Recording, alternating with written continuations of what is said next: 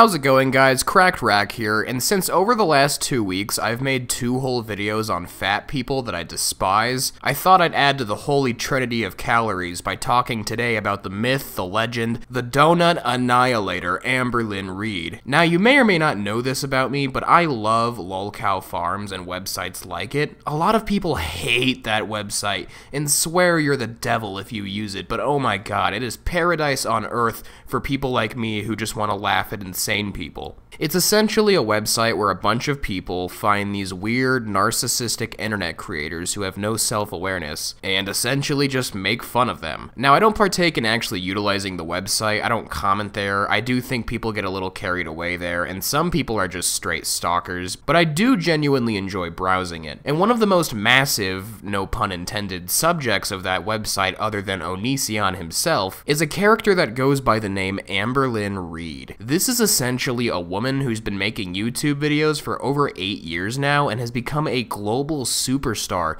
just for being a giant fat ass. And I'm not joking when I say this woman is a global fucking superstar. Her YouTube channel has over 100 million total channel views. That is more views than some musical superstars get in their entire fucking careers, and this woman has gotten it by shoving 9 Big Macs in her mouth at once on camera like every day for 8 years. Though, to be fair, her fan base is not an actual fan base. No one's watching this girl and her stupid mukbangs because they think her personality is funny. They're watching it to watch the freak show. Hell, her fan base doesn't even refer to her as a girl, they refer to her as a gorl instead, which I find telling of how they feel about her as a human being.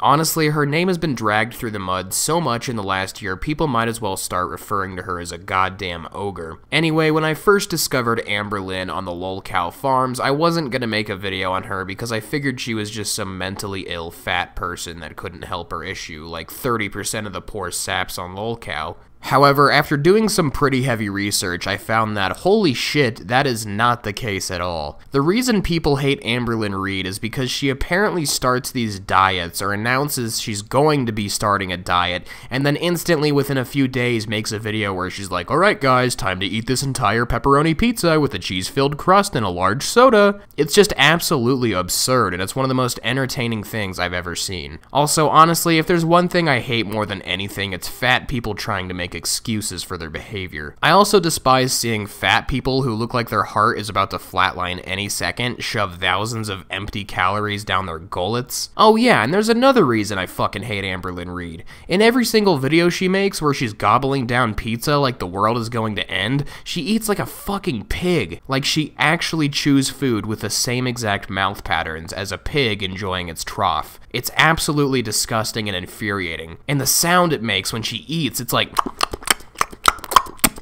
I have never been infuriated by someone eating before, but Amberlynn Reid has somehow made that a new issue for me because she's just that gross. Now, the ultimate trinity of reasons to hate Amber aren't just because of her eating habits, it's because she blames everybody and everything else for her fatness, and she has a gigantic ego and actually thinks she's pretty. So, all three of those things combined make a pretty fucking abysmal human being who absolutely nobody wants to be around. So, yeah, if you've been hearing the name Amberlynn Reid get thrown around around quite a bit and have no clue what it means, that's a general explanation. She's just an entitled, arrogant, mentally ill, obese person who refuses to change and actually enjoys live streaming her own death because she's so stubborn and awful she thinks it's funny to make people watch her eat herself to death. I should also mention Amber treats animals, her family, friends, and even viewers all like shit. She's just all around a garbage human being, inside and out, and that's why I really don't feel bad making fun of her this hard. When it comes to someone like Chris Chan, I do feel bad making fun of someone like that, because they genuinely can't help how absolutely childlike and stupid they are.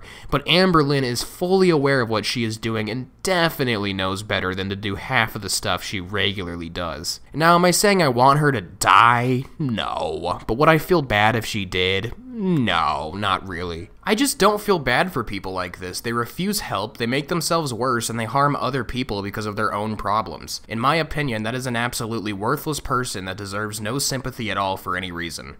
You know, with all these awful people I talk shit about on my channel, I'm starting to feel like motherfucking Gandhi in comparison. What is it about the internet that attracts people like this? It would never be a thing in the 90s or super early 2000s to make someone famous just for the sole purpose of shitting in their mouth. And like I said, Amberlynn Reid is famous. I guarantee you, through the sheer power of being a giant fat ass with cellulite on every single pore of her body, she gets recognized on the street all the time. Anyway, that's all for today's video. I just wanted to share this absolute beauty with you all. Some things are just too beautiful not to talk about. See ya.